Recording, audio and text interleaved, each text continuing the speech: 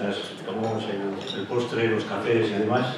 Eh, al le he dicho correr para que tome el postre, eh, pero por lo menos para que esté bien alimentado, eh. Y supongo que ya tendréis eh, las preguntas eh, preparadas.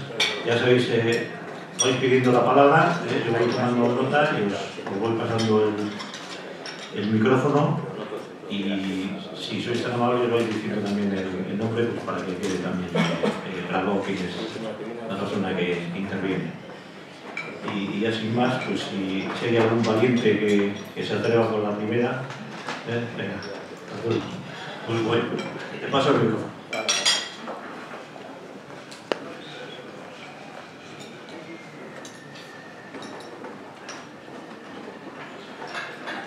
Bueno, en, en, primer lugar, pues eh, muchas gracias por, por la conferencia. Yo creo que es tremendamente interesante y además un problema mm, crucial, pienso yo. En ese sentido, pues eh, he aprendido mucho y estoy encantado. Yo mi, mi, reflexión va más, bueno, digamos, porque eh, digamos que pienso que el problema es más amplio.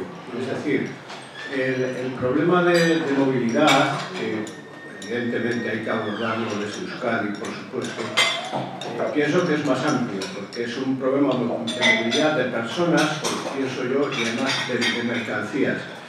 Y, este es un problema que no es solo de Euskadi, bien, pero es, es, de, digamos, es de ámbito mundial. Es decir, yo pienso que con la globalización, eh, pues con toda la eh, deslocalización y externalización, el, transporte se ha convertido en, eh, digamos, en, algo muchísimo más intenso, pero los costes que, ha señalado el, ponente precisamente, esos costes de transporte eh, pues se, multiplican cuando estamos hablando de transporte internacional y demás.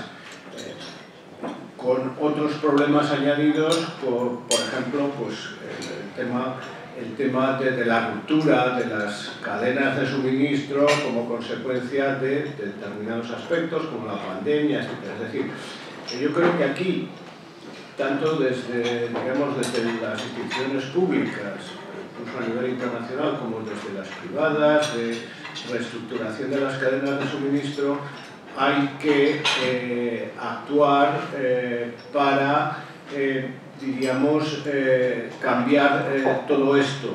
Mm, eh, tal vez con relocalización, tal vez con, mm, diríamos, diversificación de los suministros y sobre todo mm, por un tema también medioambiental.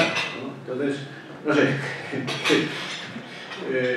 igual me he elevado demasiado, no sé, me he ido demasiado por las ramas, ¿no? Un poco, eh, no sé, ¿qué te, ¿qué te, parece esto? ¿Qué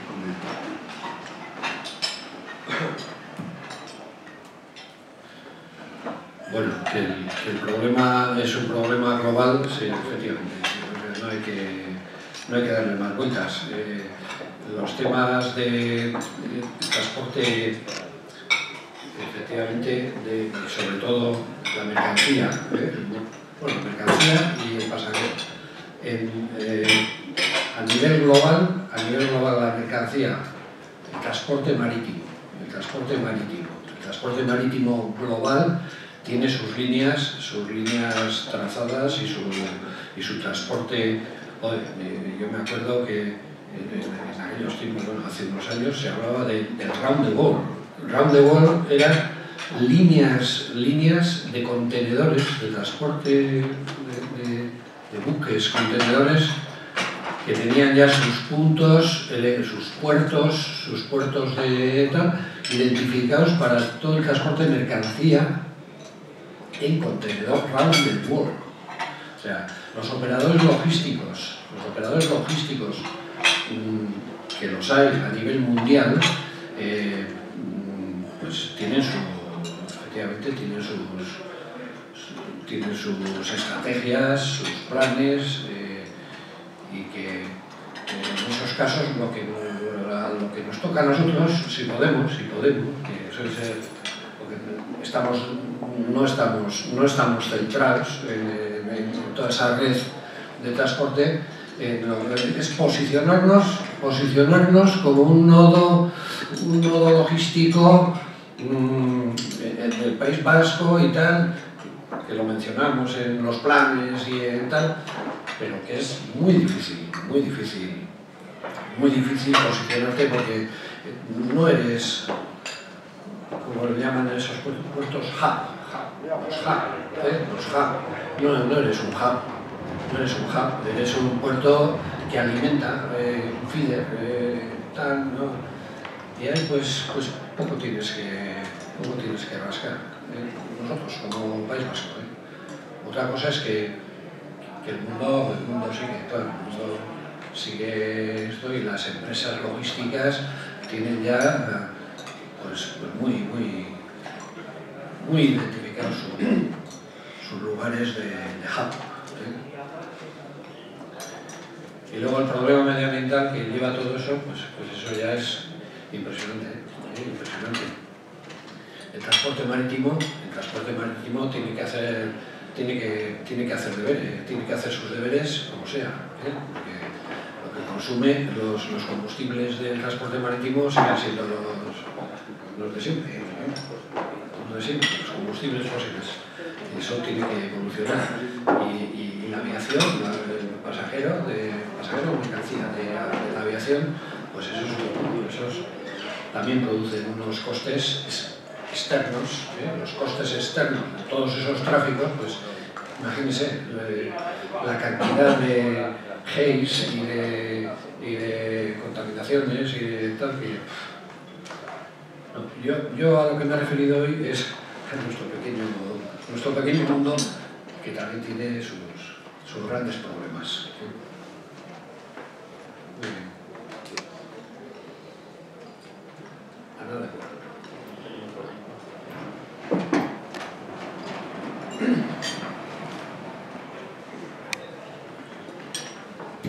Buenas tardes, soy Álvaro Gubierna.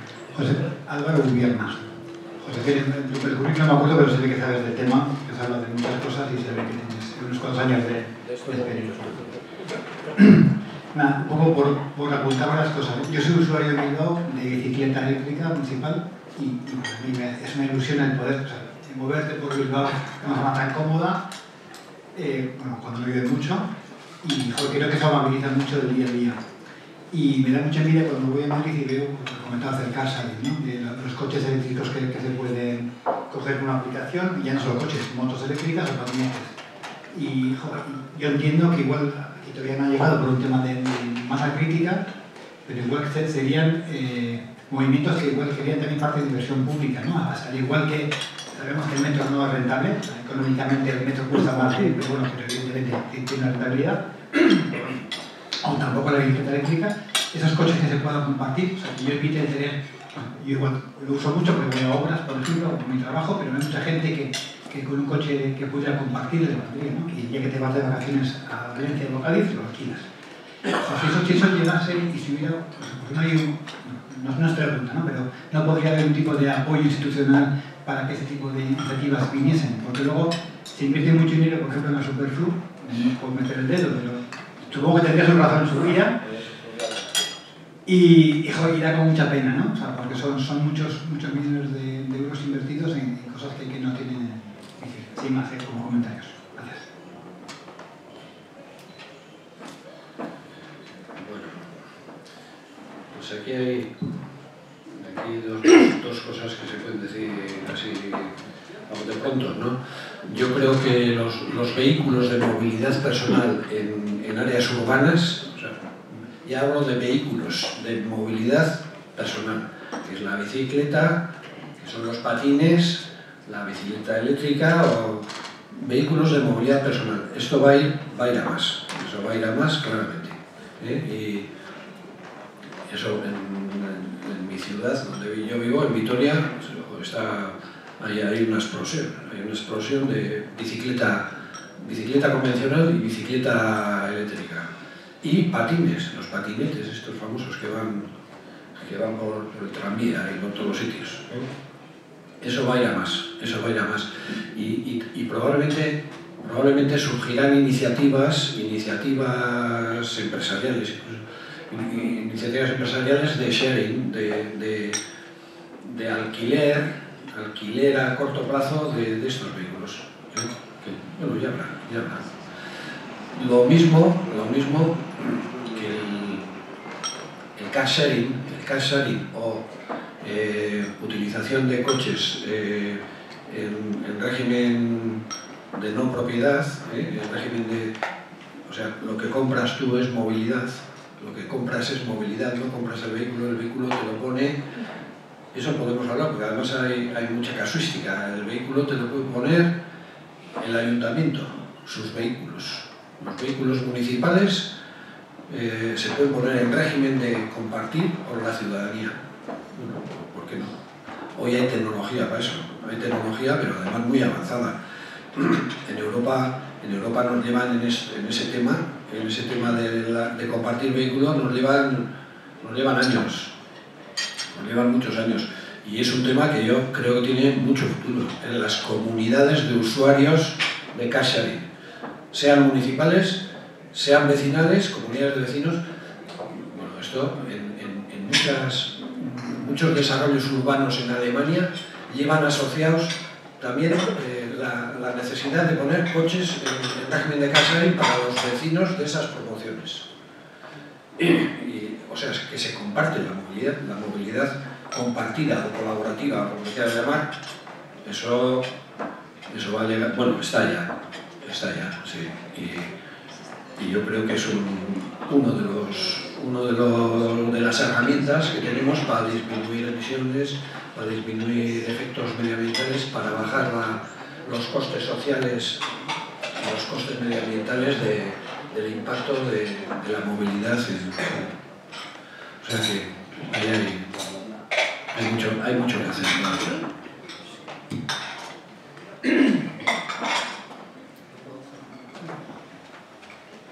Hola, buenas tardes. Mi nombre es Jonas Mendariz. Jonas Mendariz. Más que una pregunta es solo un comentario. Se habla del car sharing como algo del futuro en Torre Iberdrola hay un servicio de car sharing y es tremendamente exitoso. Yo personalmente no tengo vehículo propio y cuando tengo que ir a ver a mi familia en San Sebastián, aquí no un coche eh, por 30 euros todo el fin de semana en, car sharing, más gasolina. Pero bueno, eh, funciona muy bien. Torre Iberdrola. Torre Iberdrola y quién es el operador. Alphabet. Alphabet.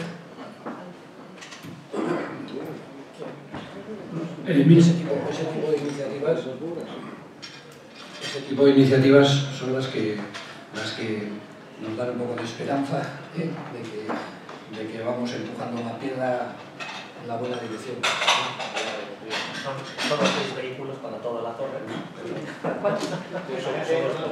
El parque de, el parque de enviados de empresas de Un parque de Zamudio, por ejemplo, perdona por el micrófono, pero o sea, que es mucho más, más crítica ahí sí que tendría juego, ¿no? Y ahí sí que es un problema grave de, comunicación.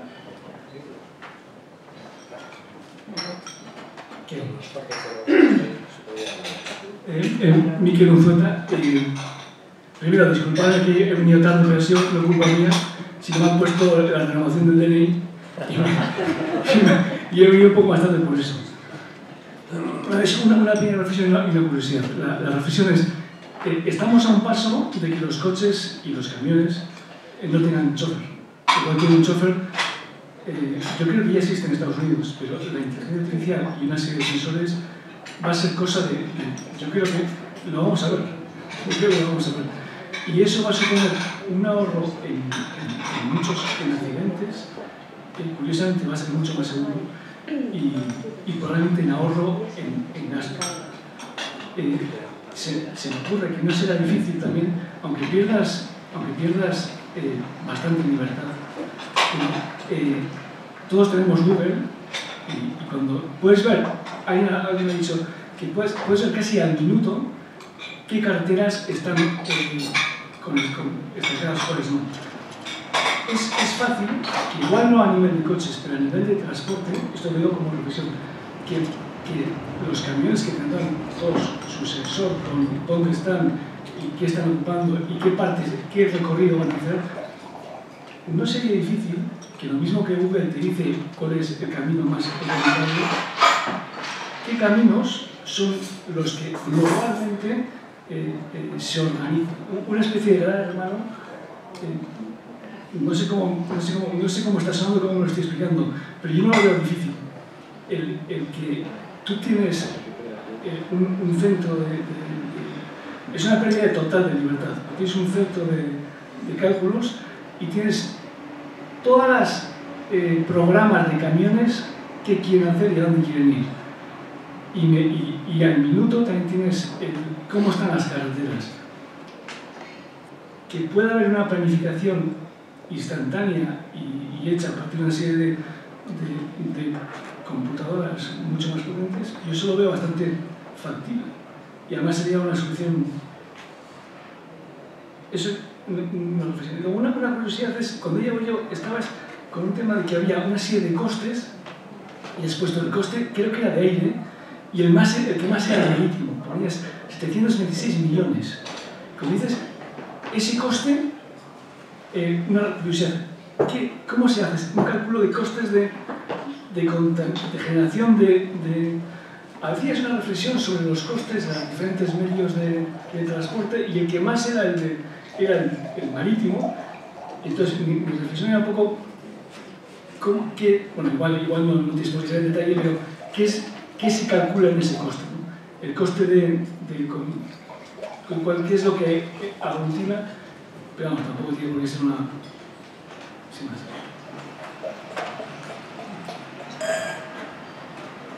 Bueno, pues yo, yo personalmente, ¿eh? yo a lo mejor es que ya soy mayor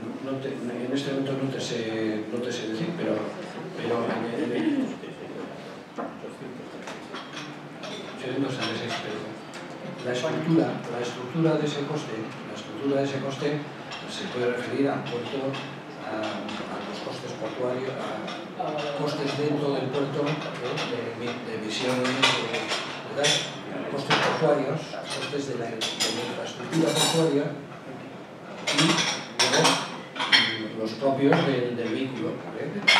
los buques, los buques que eh, tal, pues esa es la, esa es la cifra, la cifra que, que da este estudio y que, y que en principio yo no,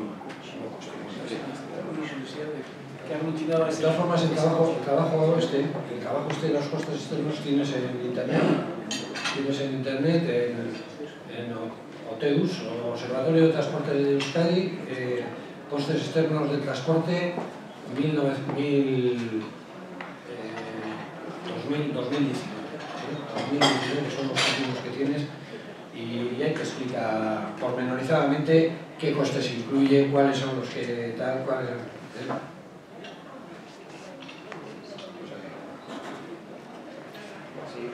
Yo soy Miquel Sorri.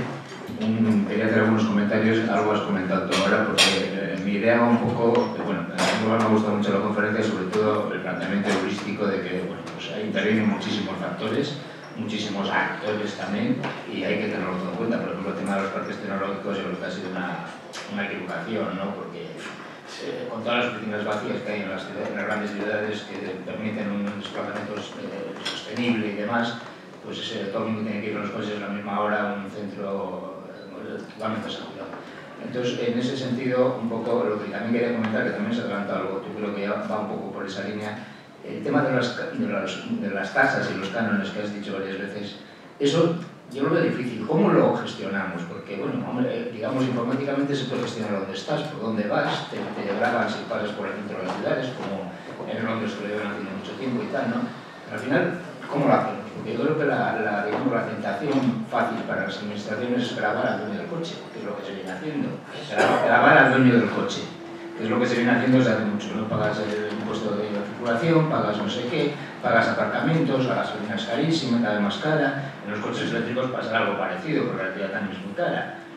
¿Eso cómo se podría gestionar de manera, vamos a decir, que seamos justos? Porque estoy totalmente de acuerdo con que el que gasta y y consume, pues son recursos eh, globales y son recursos de todo el mundo, pues tiene que pagar. Pero ¿cómo? ¿Cómo hacemos para ser justos? ¿no?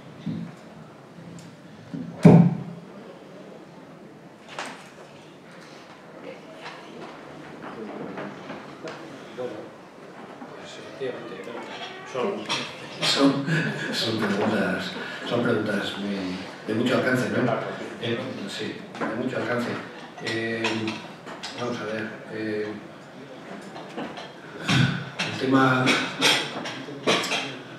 como el problema es eh, ser justos, ¿eh? ser justos y que efectivamente los conceptos de que el usuario paga lo que usa, el usuario paga y el que contamina paga, pues ¿cómo materializas eso? ¿Cómo materializas?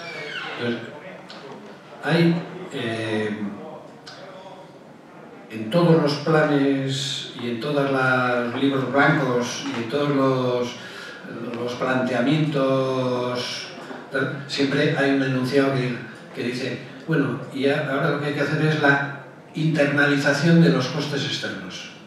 Todos esos costes que, que aparecen ahí, esos dos mil y pico millones, ¿cómo internalizas el que el usuario paga y el que contamina paga? ¿Cómo lo haces? ¿Cómo lo haces? Y ahí es donde viene la, la casuística de, de, si lo haces...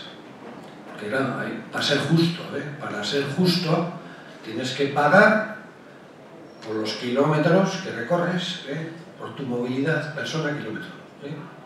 Tu movilidad que es persona-kilómetro, tienes que pagar por eso. ¿Y cómo pagas eso?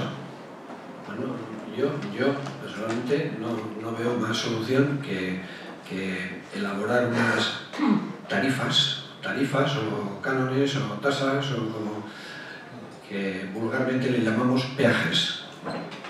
El peaje. O sea, tú tienes un peaje, tú, tienes, tú recorres Bilbao San Sebastián y tienes un peaje y en ese peaje, además del coste de mantenimiento de la infraestructura, además de además de del el coste de tal, pues tienes que pagar todos esos costes externos ¿eh? que te corresponden, de tantos miles de millones de, de costes, te corresponde 22 euros. Y, y no, estoy elucubrando. ¿eh? Pero te quiero decir, y, y entonces el, la implantación de esos peajes, peajes o, o cánones o tarifas, tarifas por tarifas medioambientales. ¿eh? Las tarifas medioambientales, las tarifas para compensar los costes externos de que produces, esos... No, no hay otra forma de... yo no, no bueno, no sé, aquí están muchos, pero eh, ya hoy en día, hoy en día esos, esos peajes se pueden, se pueden, se pueden cobrar además eh, con free flow y o sea, con toda la tecnología que quieras que, te va cobrando te va cobrando a medida que vas haciendo kilómetros. ¿eh? Y la tecnología está inventada, pero cuando ha habido alguna, algún intento político de implantar en una red concreta y tal, pues tiene montado el lío. Tiene montado el lío porque mmm, el usuario no quiere pagar. el usuario no quiere pagar y el que contamina tampoco quiere pagar. No quiere pagar. Y por muy racional que te parezca, que, sí, que tienes que pagar. Pues no. y tenemos todos los líos montados aquí en el, en el país, en el país vasco y, fuera del país vasco. La viñeta, la viñeta a los vehículos pesados de, de, por, por, algunos países europeos, que es perfectamente, perfectamente aplicable, pues hay pocos países que, tienen el, coraje y el, de, ponerlo, de ponerlo, pero es que, es que no hay otro remedio, es que no hay otro remedio.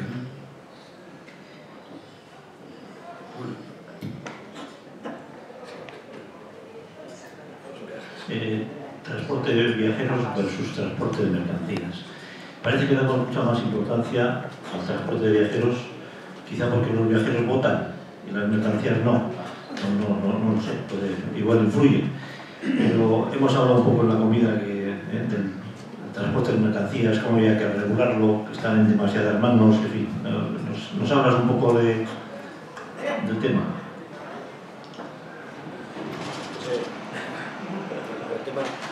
El tema del transporte de mercancías es otro mundo. Son pasajeros mercancías. Los pasajeros, generalmente zonas urbanas, zonas urbanas, zonas... Eh, y, bueno, pues es transporte urbano, con todo lo que conlleva el transporte urbano, ¿eh? columna vertebral, transporte público. El transporte urbano, siempre digo, la columna vertebral es el transporte público.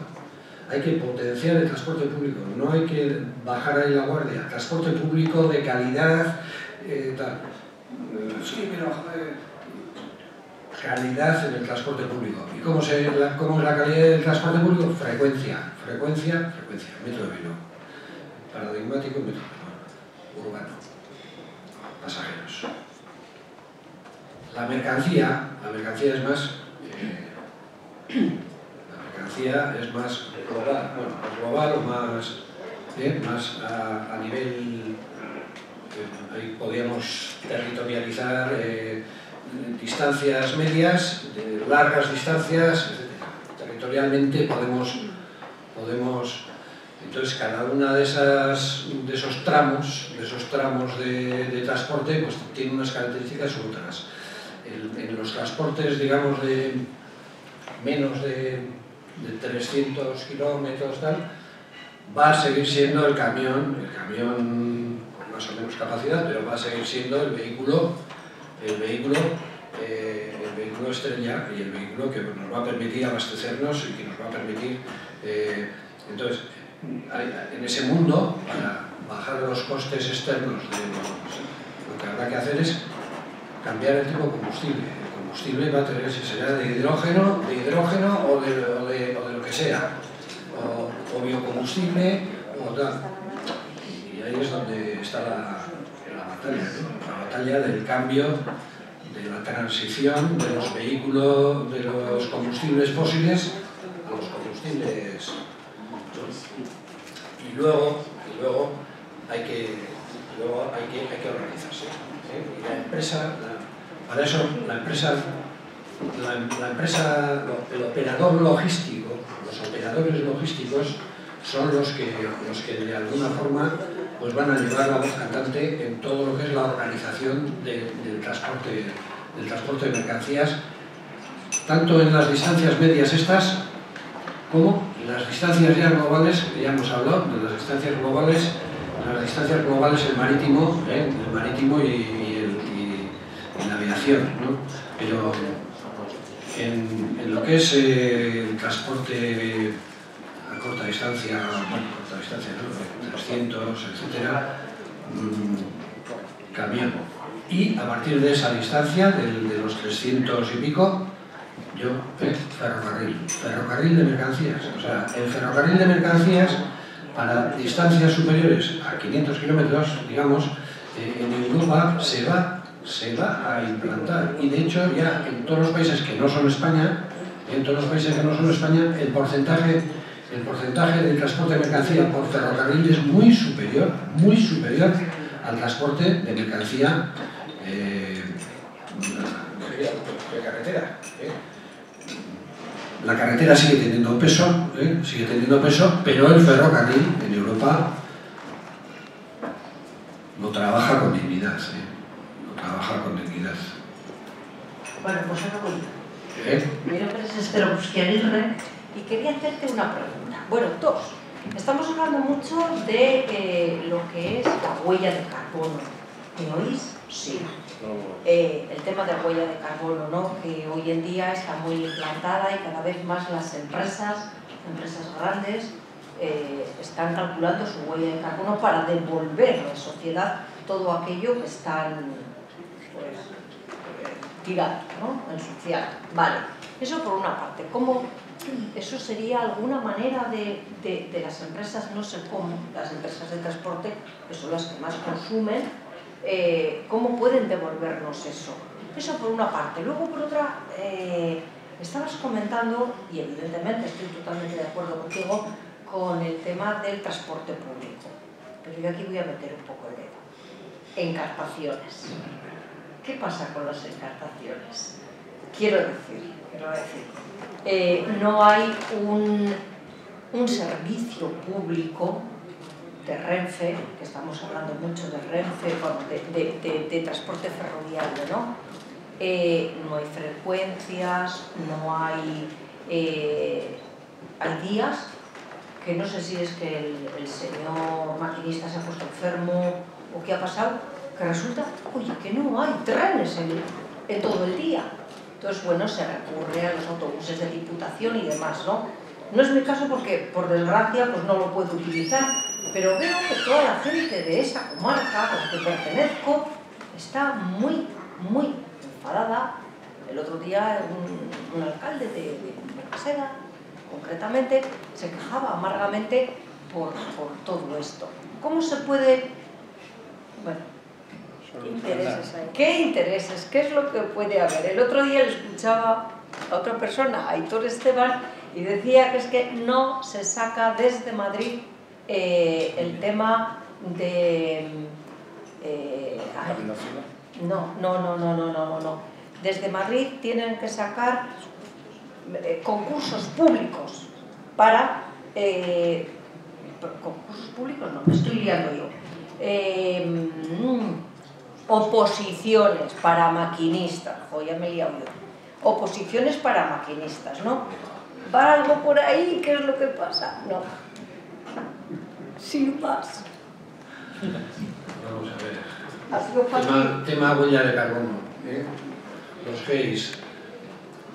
El, te, el tema de, de, del cambio climático y, y el cambio climático y la huella de carbono y los costes externos derivados de eso, que ya veíamos, son, cambio climático, 561 millones al año, que estamos, que estamos gastando, o sea, que, que alguien, que son unos costes que teóricamente esos costes del cambio climático son costes que además estamos diferiendo a generaciones venideras. O sea, que los tendrán que pagar los nietos de nuestros nietos. O sea, que son los costes del cambio climático. los, los costes de descarbonización de la economía, de, la movilidad, de tal. ¿Cómo, ¿Cómo hacemos frente a esos costes? Lo que decía yo a, a, a Miquel, Miquel también, ¿no? Eh, en algún sitio, en algún sitio, el que está produciendo esos costes tiene que pagar. ¿Sí? ¿Ya? ¿Eh? Pues no, no he visto ningún político que tenga esto para poner peajes a ese, a ese que contamina y a ese que, que usa el coche en malas condiciones, que pague, pues que pague. Esa es la primera. Y la segunda, los trenes de encartaciones. Los trenes de encartaciones, ¿esos son de, de FEBE o de quién son? De FEBE. De FEBE. Eso no, no es de Euskotren. O sea, Euskotren... Pero, eso, eso yo, yo pienso, con todos los operadores que hay de, trenes, de carreteras, con todas las instituciones que hemos hablado ahí, de las barreras institucionales, que hay muchísimas barreras institucionales, pues que, bueno, pues eso es un problema de coordinación y un problema, en este caso, de, probablemente de transferencia, de transferencia de la operación de esa línea. Eso, Euskotren, hágase cargo de esa línea, que es una línea de cercanías prácticamente para nosotros, ¿eh? hablando rápido, es una línea de cercanías que, lo que hace es precisamente atraer eh, a, la metrópoli pues, pues, pues, todos los viajes de encarnaciones. Pues eso es interno del País Vasco. Eso, eso no entiendo yo porque, porque todavía no se ha transferido ni se ha... Pero eso tenía que transferirse y se transfiere, Euskotren lo toma y Euskotren reorganiza esa línea para que haya un servicio en condiciones, de calidad, plazo, precio. Así lo veo. Vale. Eh, vale, yo soy David, el informático la voz detrás de la cámara. Bien, eh, yo me ha pisado un poquito la pregunta. vale. Eh, si he entendido bien la ponencia, eh, eh, lo que yo he entendido es que estamos un poco arrastrados por la demanda y quizás lo que deberíamos es tener una oferta en vez de una demanda. Es decir, yo creo que el ejemplo más claro de éxito de transporte en, en esta provincia y concretamente en Bilbao es el metro, sin ninguna duda. Yo creo que el metro nos ha abierto a todos la posibilidad de, yo por ejemplo soy autónomo y no tengo coche. ¿Bien? Y el peor fracaso creo que es las cercanías. ¿Por qué? Pues porque si el metro se lleva a pasajeros, ¿para qué va a invertir Renfe en algo que no va a rentabilizar?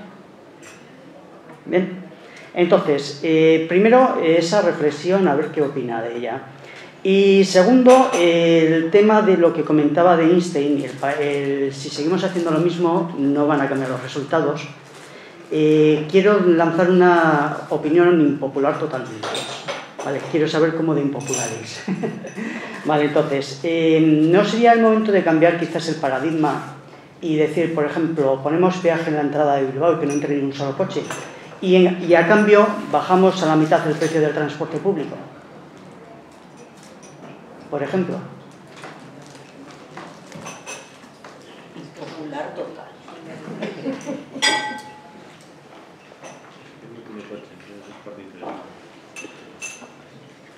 ¿Me oís sin micrófono?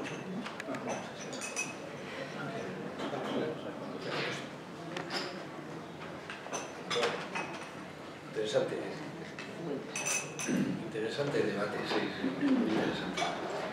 Efectivamente, efectivamente el metro, el metro es la infraestructura, eso lo hice yo en mi tiempo, hice unas encuestas, encuestas que salía, o sea, un índice de de, éxito, de éxito ciudadano y tal, el metro salía, pero por encima de cualquier otra infraestructura.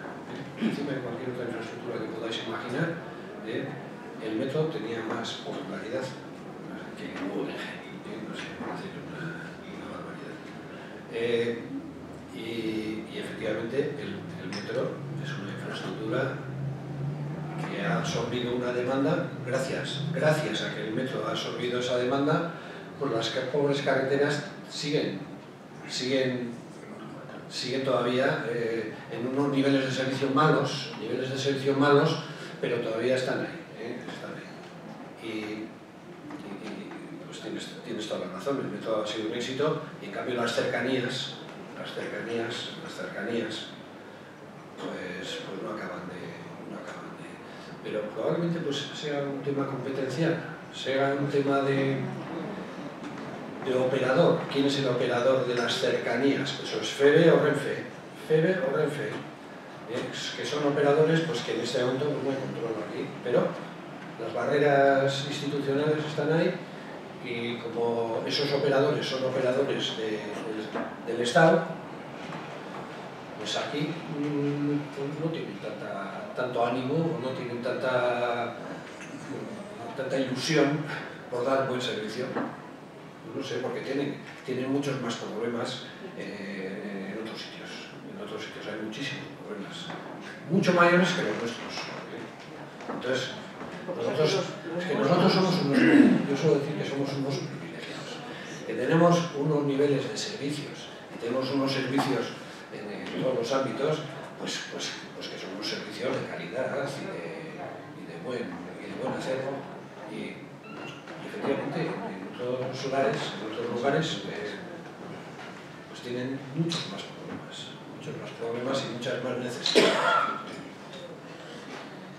Y luego, lo del peaje urbano y lo del transporte público, te voy a contar un caso porque es paradigmático y a mí también me ocurrió. En Estocolmo, en Estocolmo financiaron una línea de metro, una línea de metro con los peajes urbanos que le pusieron al, cinturón de circunvalación de, de Estocolmo.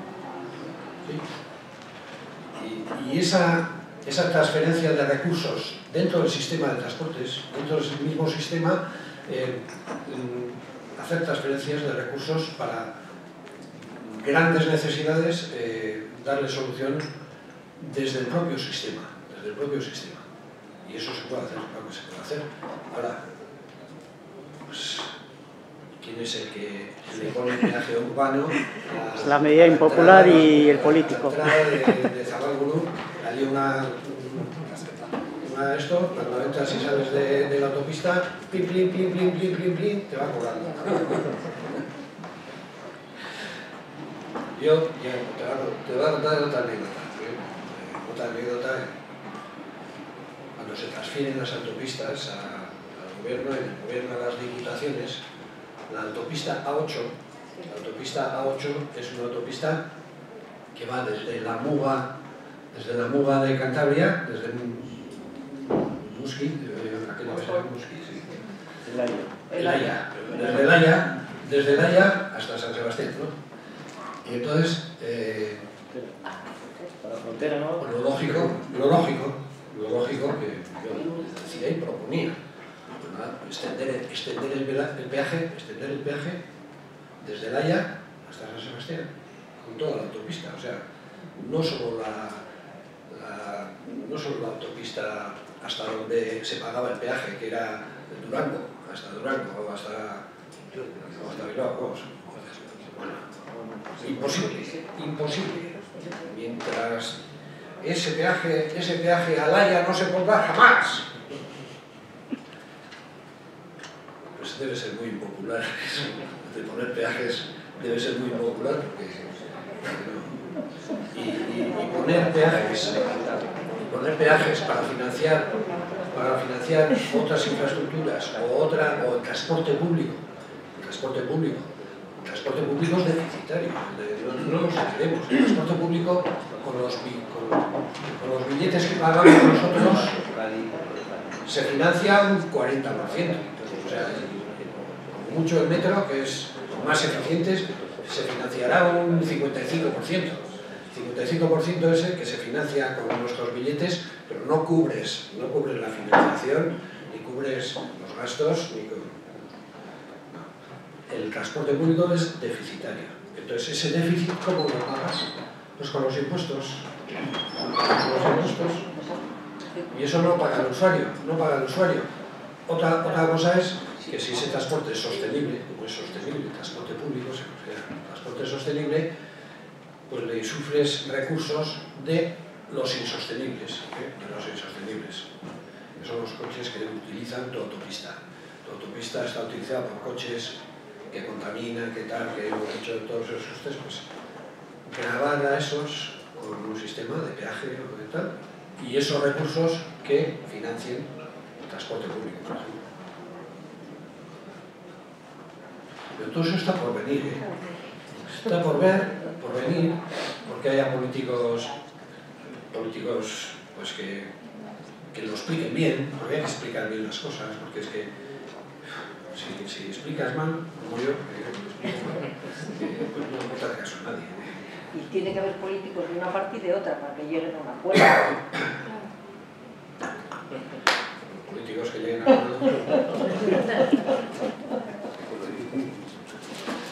La cooperación, ya no habéis estado, ¿no? Pero No. eh, yo he acabado mi ponencia hablando de, de la importancia de la cooperación a todos los niveles, a todos los niveles. O sea, la cooperación es la clave. O sea, yo cuando he estado en Europa y he estado en, en muchos sitios de plataformas europeas de transporte y tal, siempre, siempre la cooperación es la clave, la cooperación es la clave, la cooperación es la clave. Cooperación entre autoridades, cooperación entre la infraestructura y los vehículos, cooperación entre... eh. La cooperación es la clave. La actitud cooperativa es la que te puede dar soluciones, te puede. Luego otra cosa es que te dé, porque hay mucho que hablar. Si hablamos... ¿Se me oye sin micrófono? Nos olvidamos. Yo sí, yo te digo muy bien. Bueno, me llamo Julio Garay, soy profesor de la universidad en, en Lane, en Mondragón, y nuestros chicos desde hace tres años los estamos preparando para que sean empresarios. La mayoría quieren ser empresarios y emprendedores. Y os voy a demostrar con un vídeo de un minuto y medio lo que están haciendo 22 chavales que tienen menos que 30 años. ¿Puedo poner, puedo poner este vídeo? Es un minuto y medio. Es sobre el tema, ¿no? Mientras, sí, sí, sí. sí, sí. Ahora quiero decir algo que tiene que ver con todo este conjunto de cosas que estamos hablando. En principio, todo el transporte lo definen, lo interpretan, lo desarrollan y lo los políticos. Pero los políticos tienen el corto plazo, son cuatro años, ocho años y punto. Entonces, todo lo que gastan, lo gastan para el ciudadano, que les dé votos, no para el ciudadano de Balmoaseda, no les da votos. Lo que hacen los políticos, y no sé si hay aquí algún político que a nivel individual funciona estupendamente, pero me refiero a nivel colectivo, eso que se hace en, el Congreso, los diputados, y ahí es todo suma cero. Si le damos dinero a Balmaseda, se lo quitamos a Lekeitio, que no tiene tren.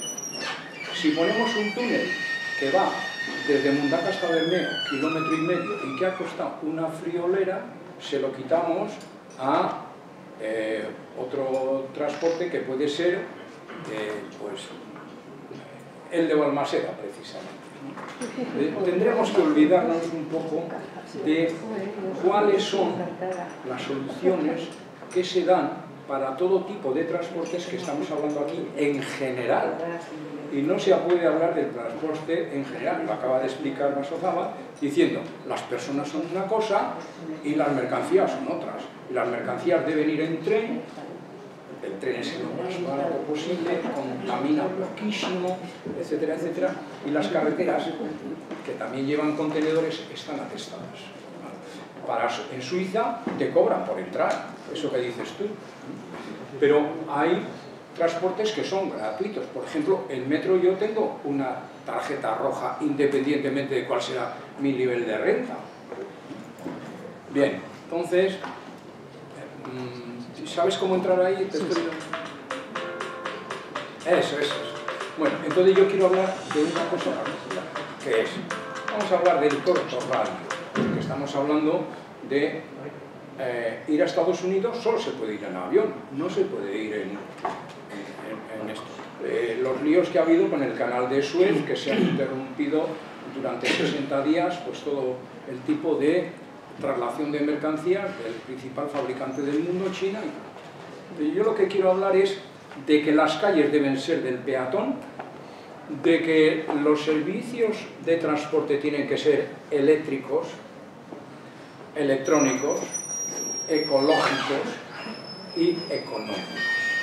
aquí hay un vídeo que explica lo que están haciendo unos chicos que han pensado cómo hacer el transporte interno de la ciudad. A eso me voy a, a remitir. Al transporte interno, que en algún momento tú has dicho lo que cuesta. Vamos a ver, tenéis que prestarle atención porque la cámara se va moviendo a distintos ángulos. Aquí hay tecnología para recoger basuras, pero va a servir para repartir pasteles o para recoger o para entregar de Amazon o lo que sea. Nos hemos decidido por lo más difícil, que es recoger basura, para eliminar eso que se llama el no puerta a puerta. Y luego, así que entramos en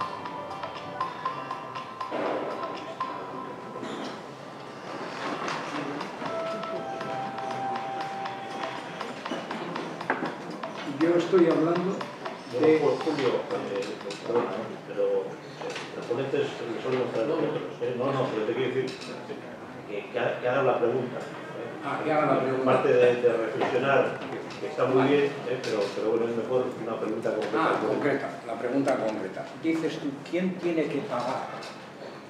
El ciudadano.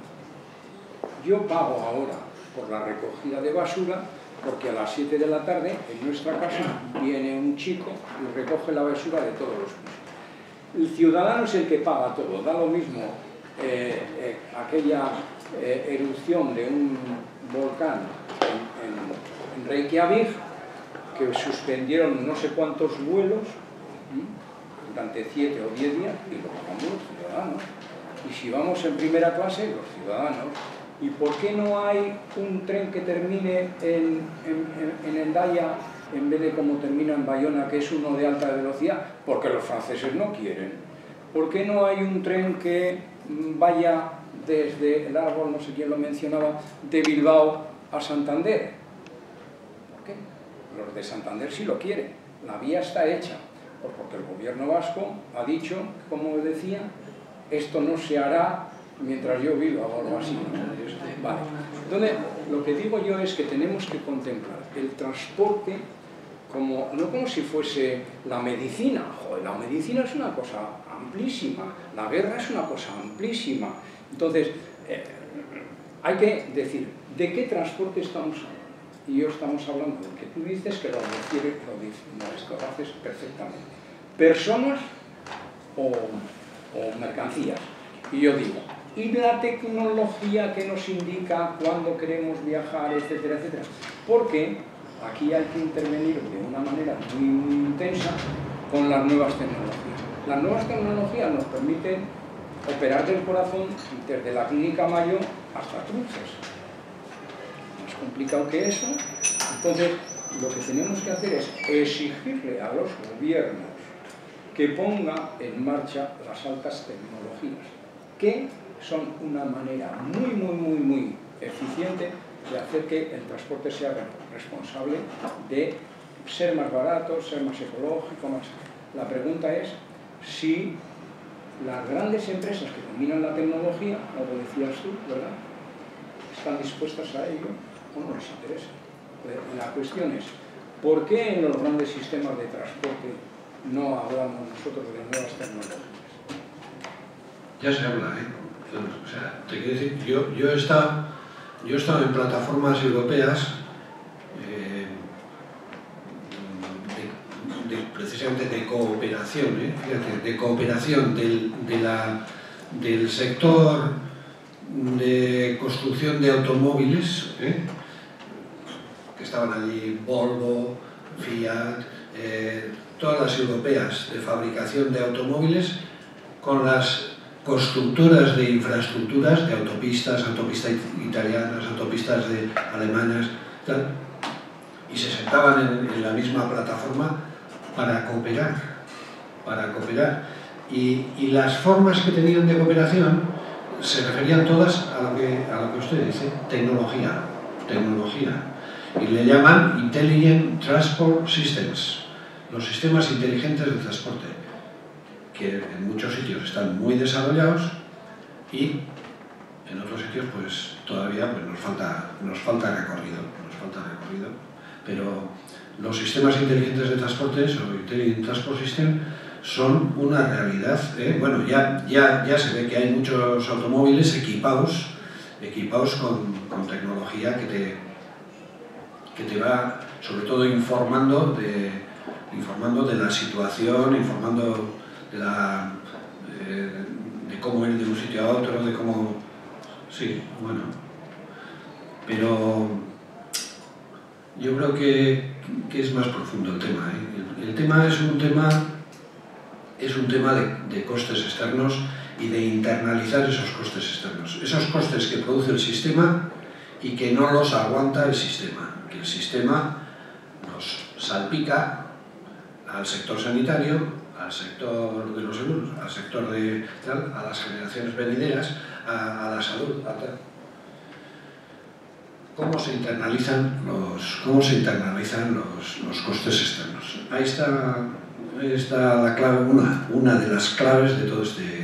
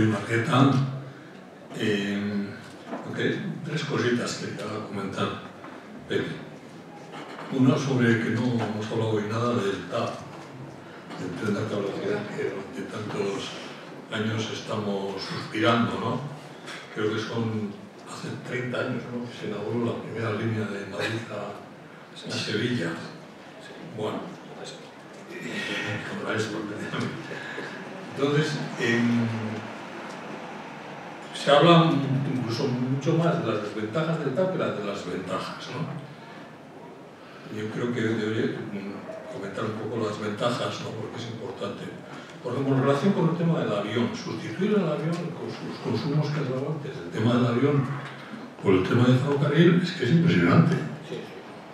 O sea, entonces, eh, realmente ahí sí que quitaríamos una serie de costes eh, que estamos externalizando, es muy importante, porque todos los vuelos que se harían a, a Madrid, a, pues a toda la red que tiene el Estado en España, ¿no? que es muy grande, pues sería una sustitución pero muy, muy, muy importante. Lo que no tengo muy claro es el tema de las mercancías, porque yo siempre había oído que, el, que el TAP iba a tener, iba a tener un, un, tren de mercancías, iba a tener un hilo de mercancías, lo que era el, el tren de alta velocidad en España, pero veo que no, que no sé si funciona en algún sitio de España las mercancías del tren de alta velocidad. En cambio, en Francia y en Europa funciona en todo el tren, en todos los trenes de alta velocidad, en todas las infraestructuras de alta velocidad, las mercancías. Y no entiendo por cuál es la razón de que en España, incluso la Unión Europea que dado un montón de dinero para financiar el TAP, no obligue a que las mercancías vayan por el TAP. No sé si es un problema técnico o una cosa, no tengo ni idea. Y luego otro, otro tema relacionado con el TAP. Yo he viajado en en, un poco en Francia y un, y un poco en Alemania. De Inglaterra todavía no había TAP, pero existían también unas eh, estaciones comarcales en las que el TAP no siempre paraba, paraban otros ferrocarriles. O sea que la infraestructura del TAP lo utilizaba no solamente el tren de alta velocidad, sino otros tipos de trenes que paraban en las comarcas. Parece que en el TAP español no pasa eso. No, no entiendo tampoco la razón. Porque a nosotros nos vendría muy bien una estación en Durango, una estación en Eibar, una estación en El Goyerri, como hoy una estación en y otra estación en San Sebastián. Eh, y esto nos resolvería unos problemas tremendos, eh, sobre todo para, para callar algunas críticas que nos están haciendo sobre este tema, ¿no? Realmente para distribuir la población de las comarcas que tengan acceso pues, fácil, ¿no? Ni tampoco, y también establecer las estaciones de modalidad que decías tú, con otros transportes más locales, ¿no? Con el ferrocarril vasco, o con el metro, con, etcétera, con, el, con el autobús, etcétera. Otro tema era, era un poco, eh, ya subir un poco de escala, parece que en todos los estudios europeos, en los planes europeos, se habla de, mm, del País Vasco como un nodo, nodo del eje atlántico. No vamos a ser un hub internacional, pero sí un nodo europeo del eje atlántico, ¿no? que es eh, importante, ¿no? el eje que, va hasta, por la costa hasta, hasta Porto y, Lisboa, y el eje que va por el interior de Madrid también hasta, hasta Lisboa, y luego pues, que va a Sevilla, etcétera, etcétera, que es uno de los ejes importantes europeos, ¿no?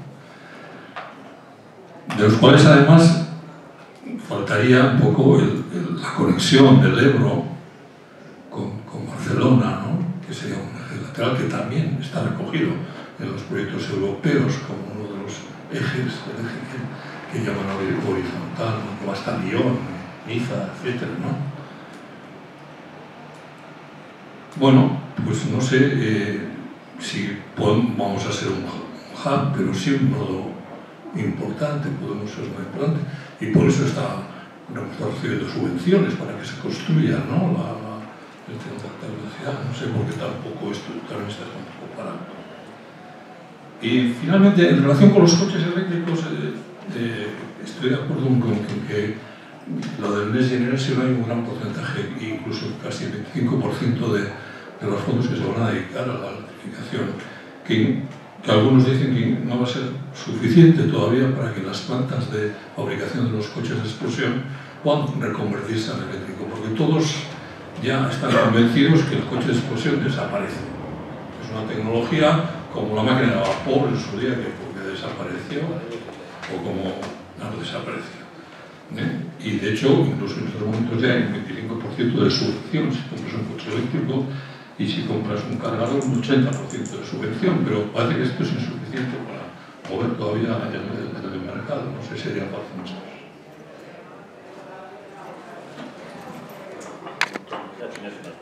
Ya tengo un montón de... Vamos a ver si podemos. El tren de alta velocidad, ¿eh? el TAP. Vamos a ver. Cuando hablamos del TAP, una cosa es la infraestructura del TAP, ¿eh? la infraestructura, la Y vasca, ¿eh? Ancho europeo y con todas las características de una red para la alta velocidad, para que puedan circular vehículos eh, de transporte de alta velocidad, trenes, trenes de alta velocidad, y eso es lo que se está construyendo todavía, todavía vamos construyendo, todavía falta la entrada en las ciudades, todavía falta la, la electrificación de la, de la línea, falta.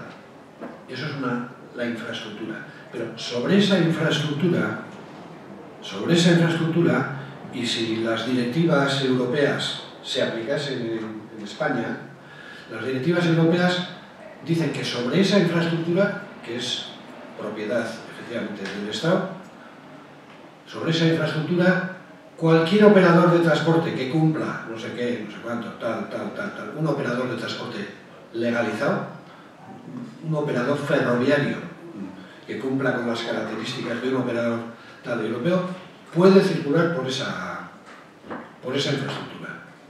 Con lo cual, se abre ahí un... Bueno, se abre, lo que pasa es que no yo no sé si es que no están traspuestas las, las directivas europeas, que yo creo que tienen que estar. O sea, tienen que, si son directivas europeas, España está en la Unión Europea, eh, pues tienen que, tienen, tienen que funcionar. ¿no? Pues no, no aparecen nuevos operadores de ferroviarios, así como en, Alemania, en Alemania, en cada región alemana, en cada lander alemán, hay tres operadores, tres euskotrenes, ¿eh? o sea, tres, tres compañías que se dedican a llevar trenes de, de, de Schengen a no sé dónde, de tal a tal, y, y, y son operadores regionales, le llaman, ¿eh? operadores de los landers, y que hacen pasajeros y mercancías, y que hacen, y que hacen cercanías, y que hacen eh, largos recorridos, y que entran en, en, otros landers, y que, o sea, están organizados, son sistemas ferroviarios organizados.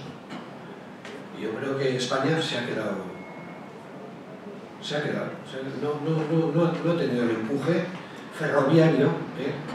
a lo mejor porque la carretera ha tirado tanto y la carretera ha, ha sido tan agresiva, eh, tan potente, pues que el ferroviario se ha, se ha quedado cohibido, ¿eh? se ha quedado cohibido y, y efectivamente no, pero sobre la... Yo muchas veces he dicho, pero bueno, en cuanto esté la, la Y, en cuanto esté la infraestructura lista para ser, el mismo Euskotren puede organizar viajes internos eh, intercities, una, un, una, una, red de intercities, pues, Bilbao, Vitoria, Vitoria tal, eh, con el exterior, con el interior tal, y, y, por, y por teóricamente, teóricamente, y con la legislación europea de mano y tal, Euskotren puede darse de alta como operador de, de, pasajeros y de mercancía. ¿eh? Te quiero decir que, que ahí hay muchísimo recorrido y, y, y, esa infraestructura nos puede dar, nos puede dar mucho juego, mucho juego. Y además, además nos quitaría muchos tráficos de, de los que dan costes, de los que dan costes externos. ¿eh? Mucho camión, mucho mucho coche.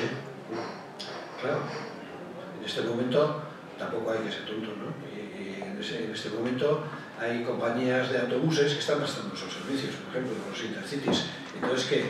Pues tienen que reconvertirse o tendrán que hacer algo. ¿eh? Y entonces habrá que, te quiero decir que, que nada es aquí gratis. Pero el futuro, el futuro me consta, vamos, estoy convencido que si vamos por, la, por las garantías de empujar la piedra en, el, en, el, en, la buena dirección, el ferrocarril va a tener mucho más peso, mucho y además con las infraestructuras que están ya hechas, el gordo ya está hecho, el, el, hardware está hecho. Ahora hace falta ponerle software, inteligencia al sistema. Eso está. Luego venía el tema las intermodalidades, los operadores ferroviarios. Muy bien. Si se pueden ponerle estaciones, estaciones en Durango y en esta la Y, pues no sé, no sé. Ahí ha habido muchos problemas también. Eh, nodo europeo del eje atlántico. Eso ya está en marcha. Bueno, está en marcha a nivel discursivo, eh, aquí en el, en el Plan Director de Transporte Sostenible de Euskadi 2030, que es lo último, es el no más del transporte. Aquí tienes referencias eh, pues a dónde quiere ir el, el, sistema y en cuanto a, a mercancía se refiere, lo del nodo europeo del eje atlántico, eso puede ser una realidad porque la Unión, la Unión y eso también me consta, tanto el transporte marítimo, el transporte marítimo de corta distancia, social shipping, el social shipping y las autopistas del mar, eh, eh, en eso son forofos. La Unión Europea vamos, le, da, le da, vamos, te ayuda y te pone lo que quieras para, para esas líneas de social shipping y tal. Entonces, esos puertos de los que parte o llega el social shipping tiene que estar luego dentro de la red de plataformas logísticas ¿eh? de, las, de los puertos, puertos secos, ¿eh? los puertos secos de Jundiz, eh, en Vizcaya no sé si tenemos alguno, en puerto seco. Cero, húmedo. Húmedo, ese es húmedo. Arasur, que está allí, Arasur, tal, Arasur, Arasur. Está el puerto de Bilbao. El puerto de Bilbao es, el, el puerto de Bilbao es la plataforma logística de Vizcaya. Y que tenía que estar integrado en, en- donde llegan eh, barcos y salen trenes. Donde llegan barcos y salen trenes. Donde llegan barcos y salen trenes. A poder ser. Menos camiones. Y, coches eléctricos, y el coche eléctrico ha venido también para quedarse. ¿eh? El coche eléctrico, eh, vamos a los siguientes coches que vamos a comprar, todos, todos los que estamos que están en mesa, van a ser eléctricos, van a ser eléctricos porque en el año 2035 no puede haber ningún diésel, ni puede haber ningún coche que eche no sé cuántos GEIS o gases de efecto invernadero o contaminación de NOx y de tal. que- entonces, pues los siguientes coches que compremos pues serán eléctricos. Que compremos o que usemos, ¿eh? porque hay en todo, en, en- en la, en la, yo creo, fíjate, en una, en una visita que hicimos a Mercedes-Benz, en fábrica de Mercedes, de, nos recibió allí el, director de, no, en Alemania, Vitoria, nos recibió el, director de, de relaciones con la gente, ciudadanas, y nos puso allí una, todo PowerPoint de estos ponemos, y fíjate, fíjate lo que estratégicamente Mercedes-Benz ya su objetivo no era, decía así, nuestro objetivo ya no es vender coches, nuestro objetivo es vender movilidad, kilómetros, kilómetros de coches, o sea, fíjate, fíjate el alcance de eso, ¿eh? que era vender, o sea, lo que quiere Mercedes en, el- lo sucesivo es vender kilómetros, hecho, esos kilómetros hechos en sus coches, hechos en sus coches. Entonces, quería vender personas kilómetro. La unidad de medida de la movilidad es persona kilómetro o tonelada kilómetro. ¿eh? Toneladas son camiones. Pero personas kilómetro, las personas kilómetro no necesitan tener en propiedad el coche. No necesitan. Lo que necesitan es tener acceso a un vehículo, coche. Tener acceso. Y eso es, se llama sharing. Car sharing es una, vamos, yo creo que es una de las soluciones más mm, importantes de todo este tinglado que tenemos en sharing. ¿Eh? El sharing. La mía, no, es, es propaganda empresarial. No, pero no, es una empresa que... Es servicio. No, el car sharing, el car sharing tiene, pero además no se lo explicar en un minuto, en dos minutos. El, el tiene muchas, muchas ramificaciones. El car sharing empieza con las cooperativas en Alemania, cuando empieza el car sharing en Alemania, Suiza, donde, donde los, las, se, constituyen co- cooperativas de usuarios, cooperativas de usuarios de coches. Y esa cooperativa adquiere unos coches que los usan pues 60 personas. O comunidades de vecinos que, además de tener la comunidad de, de las viviendas, en sus garajes, además de tener coches propios, tenían coches en régimen de car sharing, donde sin tener en propiedad el coche, puedes usar ese coche. Coges el coche, lo usas y lo dejas en el mismo sitio. Este de empresas también. Tanto. empresas, en la Torre de Iberdrola, eh, bueno, y luego hay el car sharing comercial. El car sharing comercial es como el alquiler, el alquiler a corto plazo, eh, un alquiler por horas donde el conductor eres tú, ¿eh? eres tú el conductor y tú te gestionas la reserva de ese coche, la reservas, haces la reserva por internet, por un tal, reservo este coche de tal hora a tal hora. Y, efectivamente tienes una tarjeta, vas al coche, tiene un cuadro de stand, o control remoto, cuando tú has hecho la reserva se abre el coche. Pones el ordenador en marcha, que te mide los consumos, los kilómetros tal, y usas el coche. Y luego lo dejas en el mismo sitio y punto. La mancomunidad de Ubicosta. La comunidad de Ubicosta está funcionando, ahí tienen unos coches, eh, la propia comunidad, son de él, y hay una empresita que, que maneja, que tiene el software, el- la forma de utilizar esos coches. Te cobran por eso y, y el usuario luego, el usuario, yo, a ver, mi imaginación se desborda a veces, ¿no? Tienes lo mismo que recibimos el, el recibo de la luz todos los meses y el del teléfono y de las telecomunicaciones todos los meses, a mí me gustaría recibir el recibo de mi movilidad todos los meses. ¿Eh? ¿Es posible eso? Que tú con una tarjeta al final de mes sepas lo que gastas en movilidad. Google te lo da. ¿Eh? Google te da, o sea, lo te da. ¿Te da? Google te dice incluso lo que, has, lo que vas andando y todo. O sea, lo pones en activo y te lo registra. Y te llega, y te llega una, una factura. ¿eh? Decir, decir, no es- lo mismo que el teléfono, lo mismo que el teléfono el de las Las ciudades que has visitado, el tiempo que has estado. Que sí, que sí, que sí. Pero yo quiero a alguien que me mande la factura, joder, que me mande, que yo quiero saber el coste de mi movilidad. joder. Bueno, en algún sitio ya anda con eso. ¿eh? La factura de la movilidad. ¿eh? Oye, bueno. Bueno, no sé si tenéis, ¿tenéis alguna otra pregunta?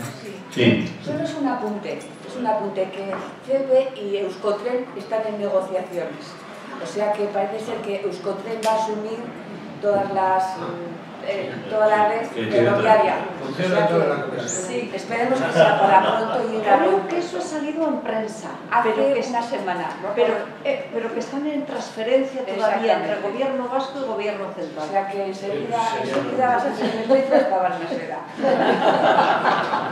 fortuna. Pues buena, buenas noticias. Además, ligados con la cooperación. ¿eh? Bueno, yo... Habría que hablar con el Cartur eh, para, para ese tema. Bueno, ya- ¿Con el Cartur? ¿Con? Con el Cartur. El El Cartur.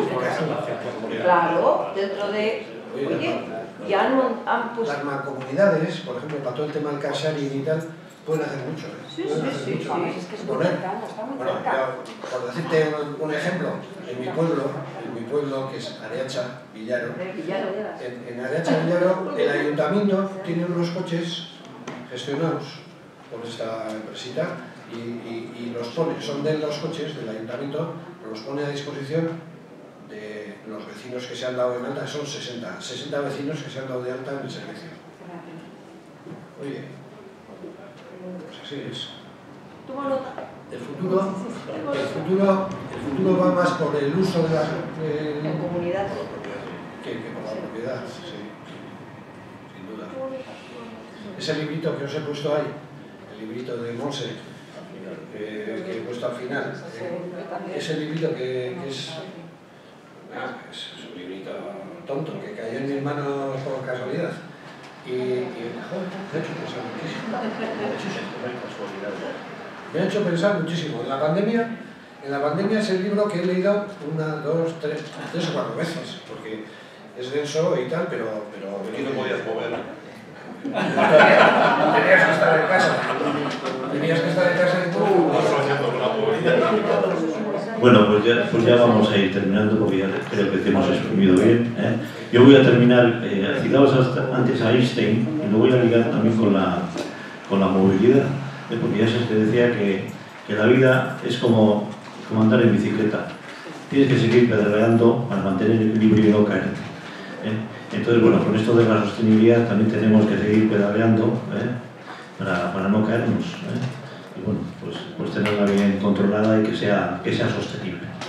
Venga, pues es que el casco eta echado de la